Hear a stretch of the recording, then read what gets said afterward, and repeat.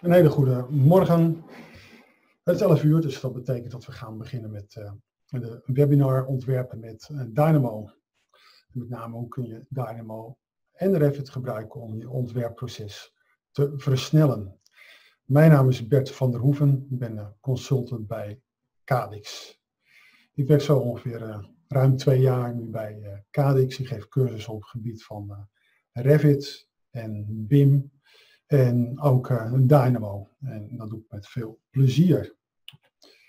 Is nog even wat um, opmerkingen over het gebruik van uh, de software. Uh, de microfoon is automatisch uitgezet bij iedereen. die kunt u ook niet, niet aanzetten. Daarnaast zit een knopje voor de video en daar kunt u video mee aan en uitzetten. Het belangrijkste is de knop voor chatten. Als je op de knop voor chatten drukt, dan krijgt u een venster in beeld met uh, de chat, waarin u onderin uh, een bericht kan typen. Uh, als je dat naar iedereen stuurt, dan krijgt iedereen dat te zien. Dus stuurt dat naar mij, naar Bert van der Hoeven. dan krijgt, krijgt alleen ik die te zien. De algemene vraag is wel handig om naar iedereen te doen. Dan zien ook mijn, ziet ook mijn collega het bericht en dan kunnen die daar ook op reageren. Eerst even iets kort over uh, Cadix. Cadix is een, eh, een, professionele organisatie in de kattendienstverlening. Uh, we hebben twee hoofdvestigingen. Twee hoofdvestigingen. Bovenaan ziet u Drachten en eronder Utrecht. En verder geven we door het hele land heen trainingen. En wat doen wij? Inderdaad, trainingen, oplossingen en detacheringen.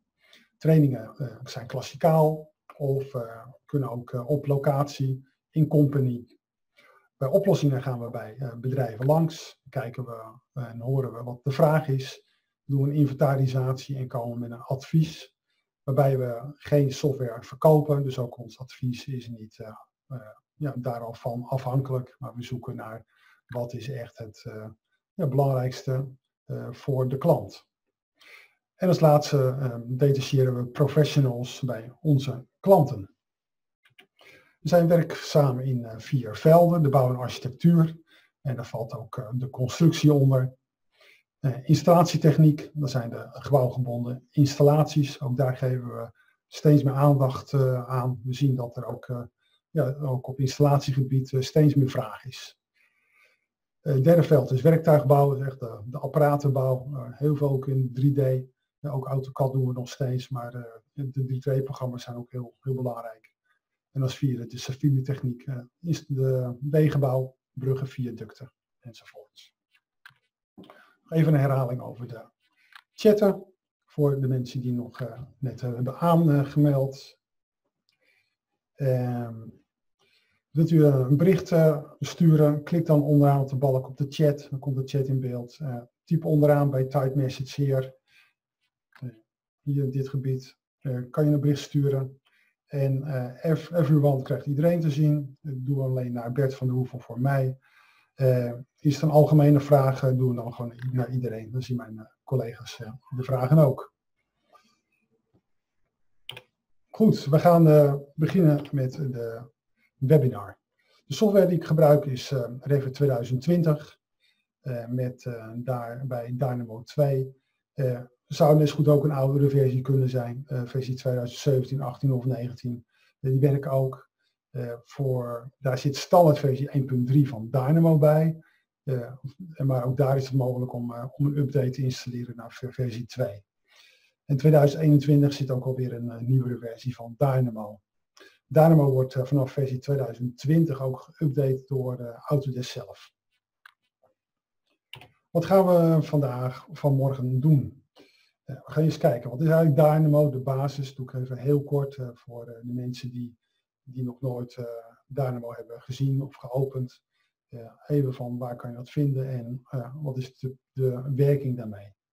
Verder laat ik een voorbeeld zien over een, het maken van een model met Dynamo. En het model dat kan je dan ook naar Revit overbrengen. Dat zit dan aan elkaar gekoppeld. Verder wil ik, uh, ik eigenlijk een voorbeeldje maken waarin je een bestaand uh, model, en dan moet je denken vooral aan de bestaande vloeren, dat je die gaat selecteren en dan uh, de vloeren gaat voorzien van een gebouwgegeven in dit geval. Ik heb ook nog een voorbeeld over dat we panelen in zo'n gevel kunnen gaan voorzien van een random kleur. ik heb nog ook een voorbeeld over waarbij ik een, een family heb met erin schoepen. En dan ga ik een muur van bouwen. En die schoepen die kunnen open en dicht. Dat heb ik met een parameter geregeld. En in een, een Dynamo script gaan we dan op basis van afbeelding die opening van die schroeven regelen. Van die schoepen regelen. En als laatste wil ik met Dynamaps, dat is een package binnen Dynamo, ehm, een, een, voorbeeld doen hoe je een stedenbouwkundige situatie overhaalt. Waarin je de wegen, de bomen, de gebouwen en je terrein, terreinhoogtes kan overhalen naar Revit. En als laatste hebben we de afronding en de vragen. Mocht er een vraag zijn tussendoor, ik hem altijd stellen in de, in de chat. Eh, ik kijk er niet de hele tijd naar. Eh, mocht ik hem zien, dan uh, kijk ik of ik er ook direct op kan reageren. Nou, ik zal het zeker aan het einde van de webinar doen. Beginnen we met de basis Dynamo. Nou, ik ga ervan uit dat, dat men bekend is, dat u bekend bent met Revit. Als je een Revit geopend hebt, dan heb je een tabblad Manage.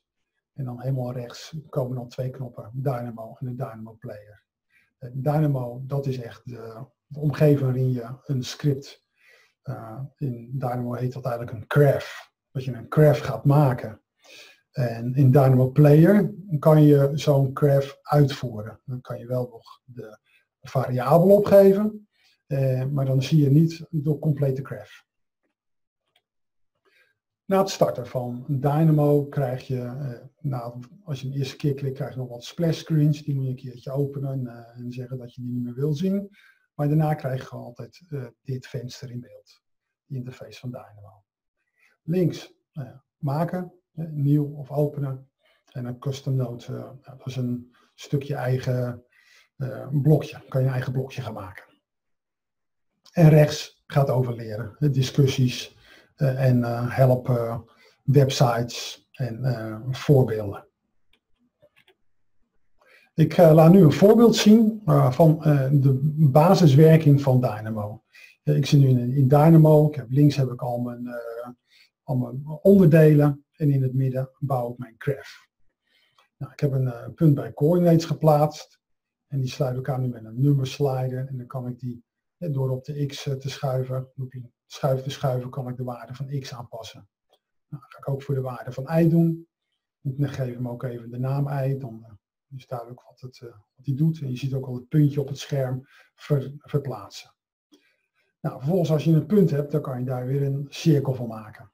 Nou, dan heb ik het middenpunt van die cirkel, moet ik ook nog een straal hebben. Dan kopieer ik het schuifje. Ik geef ook even, even de naam dat het een straal is. En ik verbind die met een radius.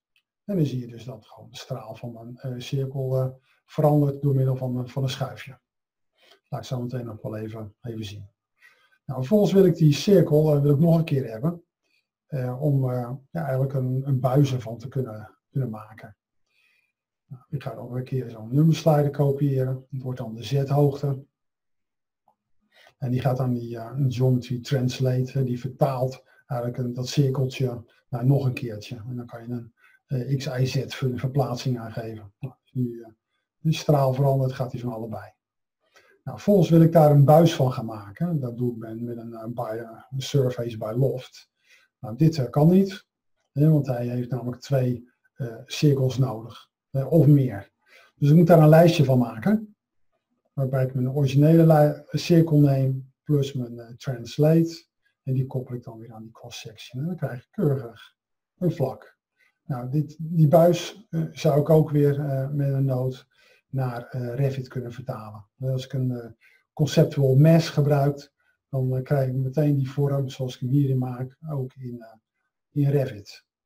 En ook wat ik in Revit maak, kan ik weer up updaten met, de, met Dynamo. Nou, het volgende wat ik wil laten zien is dat je een, een model maakt echt met Dynamo. In dit geval laat ik een, uh, een graph zien waarin ik vanuit cirkels en daar maak ik een, ga kanten aan maken. En dat ik er echt een ja, panelen van maak met met een space frame erachter. Nou, ik heb een, begin met een conceptual mesh. Conceptual mesh is altijd met, voor ontwerpen heel, heel handig. Nou, dit is een, een craft die al helemaal klaar is. En waarbij ik de schuifjeshoogte kan regelen, de middelhoogte, een aantal kanten. Nou, moet ik hem even runnen. Die heb ik nu hier op handmatig gezet. Zet ik hem op 4, run ik hem nog eens en dan oeps, dan is hij 3. Nou, dus je moet het soms wel goed in de gaten houden van wat je maakt, of dat wel, uh, wel klopt. Nou, dan kan ik aanpassen. Uh, nou, heb ik hier een, uh, een, een codeblok in zitten. Nou, die loopt tot, tot een aantal zijden in. Nou, en dat is dan een variabele n. doe ik even plus 1. En dan klopt mijn klopt mijn aantal zijden weer. Nou, ik ga die hoogtes even aanpassen. Eerst even meer, meer, wat meer zijdes. Dan, uh, dus je kan het uh, zelf allemaal heel makkelijk regelen. Dus als je helemaal zo'n basis hebt gemaakt, kan je heel veel verschillende varianten maken met Dynamo. Nou, je ziet er al dat, dat, hier echt iets is gemaakt in, in, in Revit. Nou, ik ga even de, hoogte goed instellen om even wat een wat mooiere eh, massa te krijgen. En die is naar, ook naar Revit uh, vertaald in de conceptual mesh. Het mooie van een conceptual mesh is dat ik die vlak die erin zit, dan kan ik met een divide surface, kan ik die altijd in vlakken verdelen. En nu is het eigenlijk al een soort panelen, hebben we al, met, uh, heb ik al gemaakt, maar er zit nog geen patroon op. dan kan ik hier dus een patroon op koppelen. Een, een panel die je kan maken binnen Revit zelf. En met dus ook al die buizen erachter. Nou, doe ik vooral die andere vlakken ook. Stel ik dan ook in op een aantal panelen. Even per paneel is het dus eentje. Eentje in de breedte. Dus, maar ik zou er ook twee van kunnen maken. Dus heb je twee panelen naast elkaar. Het is al gebruik te maken gewoon van die patronen die al standaard binnen Revit zitten hoef je nog niet eens zelf uh, patronen te gaan maken. Uh, kan je die gewoon uh, zo'n family maken. En dan zit dat er allemaal aan. Dat kan in allerlei vormen. Dus nu heb ik als een soort, ja, een beetje als een soort buis gemaakt, een kegel, net hoe je het noemen wil. Maar dat kan in allerlei vormen. Nou, verder uh, heb ik ook een, voorbeeld dat je een bestaand model kan voorzien van een gevel. Nou, ik heb hier een plaatje al op beeldscherm staan met beneden een vloer en bovenaan een vloer. Nou, het model zou natuurlijk veel uitgebreider kunnen zijn, maar van alles al in zit. Het gaat in dit geval om de vloer boven, boven en de vloer beneden. Uh, dit doe ik gewoon op basis van een, pro, een project, dus niet op een uh, conceptual mesh. Er zijn twee mogelijkheden, of conceptual mesh of een project. Nou, in dit geval ga ik ervan uit dat je in een project zit. Ik selecteer mijn bovenvlak. En ik selecteer mijn ondervlak. En het uh, script gaat dan kijken op basis van je verdiepingen. Kan je een aantal lagen opgeven per uh, verdieping. En een golfsterkte om je buiging te maken. En de familie die je wilt toepassen. en dit is dan een adaptive component die we daarvoor gebruiken. En in dit geval heb ik dus die verdeling van die panelen in in, in de, het Dynamo script verwerkt.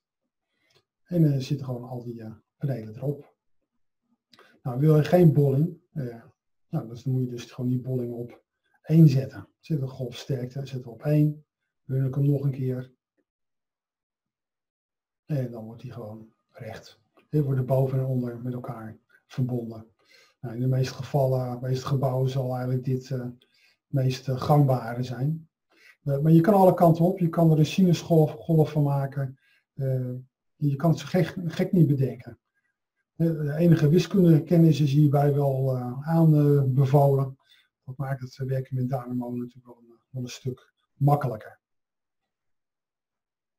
Nou, er zijn weer gewoon de adaptive components, waarbij je materialen kan aanpassen. Nou, hier ga ik even een andere kleur koppelen aan zo'n paneel. En dan zie je dus dat de vulling voor dat paneel anders wordt. Nou, ik moet dus kiezen voor een uh, bepaald uh, type paneel. Maar je kan natuurlijk uh, verschillende varianten maken en dan die zelf gaan kiezen en nog weer, weer aanpassen.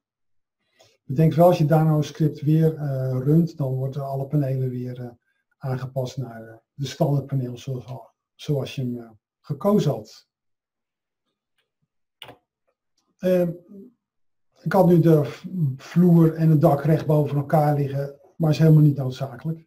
Uh, wil je een scheef gebouw maken, als het dak en de vloer, begane grond verschoven van elkaar liggen, uh, wordt het net zo goed aan elkaar verbonden. dat de basisvorm hetzelfde is, dat is wel heel prettig, want dan blijven mooi alle lijntjes recht. Nou, verder heb ik ook nog een voorbeeld dat je panelen een kleur kan geven. Daarin heb ik hetzelfde modelletje even gebruikt. Er zit een, een paneel in. En is zo'n adaptive uh, component. En die heeft ook een parameter voor je materiaal van je paneel. Nou, laat ik hier even zien. Ik heb een, in, in, het project heb ik materiaal aangemaakt. Die heet M1, M2, M3 enzovoort. Met allemaal verschillende kleuren erin. En ik heb ook nog gewoon glazing. Nou, gaan we naar, uh, naar Dynamo. Nou, dat paneel gaat hij zoeken. En verder geef ik hier qua naam de naam aan van het materiaal en ook een, uh, een. Nou, vervolgens ga ik die dan uh, random uh, koppelen aan, een, aan het materiaal van die panelen. En dan hebben we een mooie ja, verdeling van panelen met verschillende kleuren. Ga het uh, script nog een keer runnen, dan zitten de panelen op een andere plek. Want ze worden ja, gewoon door elkaar uh, gemengd. Dus je kan ja, vrij makkelijk kan je panelen voorzien van een, van een random kleur, waardoor je toch ook weer een ja, leuk effect kan krijgen. Ik doe dat nu voor een complete gevel, maar zou natuurlijk ook voor een gedeelte kunnen. Als je maar een methode hebt om je panelen te selecteren. Zij dat je jezelf in je project selecteert. Het zij dat je in Dynamo daar een filter eh, voor maakt. Dit voorbeeld eh, gaat over schroepen roteren. Ik heb hier al drie plaatjes. Deze drie plaatjes ga ik gebruiken om uh, straks de schroepen van een object te laten ro roteren. Nou, ik heb in, Revit dit objectje gemaakt. Een andere kader met schroepen erin. Ja, er zit een wingrotatie in, zit die op nul. Nou, dan zijn we schroepen dicht, zet ik hem op 90. Dan staan ze helemaal open. Nou, 45 is halverwege. Ik doe het nu hiermee, maar het zou net zo goed met allerlei andere dingen kunnen, zou dat kunnen doen. Dit script maar ga ik eerst een muur maken van 20 bij 10 van die, uh, van die kaders. En ehm, die worden gewoon geplaatst op een bepaalde maat. En verder ga ik daar een plaatje selecteren. Dan kan ik een plaatje kiezen. En dat plaatje wordt dan gebruikt om uh, de schroeven open en dicht te zetten. En bij Watch Image, uh, dan laat ik hem, het even het plaatje zien. Dan zie je welk plaatje er gebruikt is. Ja, dus nu met de bomen. Hier kan je ook het beste zien. hoe gedetailleerd het plaatje, eigenlijk hoe meer van die blokjes je moet hebben om het goed te kunnen, kunnen zien. Je ziet dus heel, heel mooi dat de opening van die schroepen door het plaatje worden bepaald. Nou, ik kan eens even een ander plaatje kiezen. Deze is ook nog heel goed te zien. En op basis van uh, de input van de plaatjes kan je dan vertalen naar een, uh, een stand hoe, je, hoe ver het schroep open staat. Nou, doen we nog even die laatste. Die is het ja, minst goed te zien. Je zou ik echt eigenlijk veel meer van die, eh, van die schroepen moeten hebben. Meer van die blokken om dat goed te kunnen zien. Nou, je ziet wel een, enigszins een, eh, een, uh, idee. Maar ja, heeft heel veel uh, toepassingsmogelijkheden, denk ik. Dus de bouwkundige situatie met Dynamaps. Ja, voor Dynamaps heb ik wel een, een package geïnstalleerd. Je kan in Dynamo ontzettend veel packages installeren voor allerlei doeleinden. Uh, ja, de mogelijkheden zijn echt uh, eindeloos. ik heb een project gemaakt waarin ik uh, alvast wat dingen geregeld heb. Zo heb ik er een, een locatie ingesteld. ik ben toevallig gewijs op de Wilhelminapier terechtgekomen in Rot Rotterdam. Dus heb ik mijn locatie neer, neergezet, is ingesteld. Verder heb ik ook een aantal lijnen aangemaakt voor de wegen en voor de gebouwen. Nou, Dynamaps moet je dus eerst installeren. Onder packages doe je search voor packages. Maar je verwachten dat hij een verbinding heeft gemaakt met de server. En dan tik je gewoon in Dynamaps. En dan kan je met die pijl, daar kan je hem installeren. Nou, ik heb hem al gestaan, dus ik hoef het niet te doen. Dan komt er ook een menuoptie bij, Dynamaps. Nou, daar kan je je locatie instellen. Uh, je kan het gewoon invoeren, een adres, of gewoon op de knop Take Me to Project Site Coordinates. Nou, klik, je op de knop Push to Dynamo om die gegevens over te halen. Je kan ook de Topo Density instellen. Ik hou hem nu uh, vrij simpel. Dan is ja, wat sneller klaar ziet ook dat het script gelijk ook al iets heeft gedaan. Oké, het totaaloverzicht. Dan zie je dus dat gelijk al uh, de contouren van de gebouwen overgenomen zijn. Uh, de blauwe lijntje is gewoon een, een Dynamo-lijntje, maar hier zit een echt lijntje. Een lijnstijl gebouwen. Uh, heb ik ook in dit script geregeld dat, die, dat je gewoon een naam kan opgeven voor die lijnstijl en dan wordt die keurig eraan gekoppeld. Ook een aantal dingen heb ik eh, bevroren. Die ga ik nu één voor één even unfreezen. de ervaring is dat dat het beste werkt. En dan gaat hij nu eh, de buildings maken. De gebouwen worden gemaakt. Die Dynamaps heeft ook informatie over het hoogte van gebouwen. En die kan ook die gebouwen laten zien. Het is wel allemaal plat. Het is helemaal geen, niet gedetailleerd. Maar voor een ja, stedenbouwkundige situatie heel interessant. Een bomenfamilie heb ik daar neergezet. En dan plaats je bomen op, de punten. En je krijgt van Dynamaps de punten. En dan kan je er zelf een boom op, op zetten.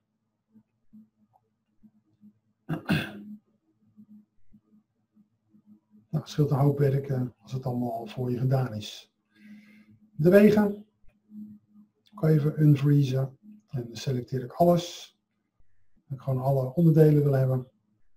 En dan moet ik ook weer even runnen. En dan uh, worden ook de wegen overgehaald. Ook die heb ik weer met uh, lijntjes gemaakt.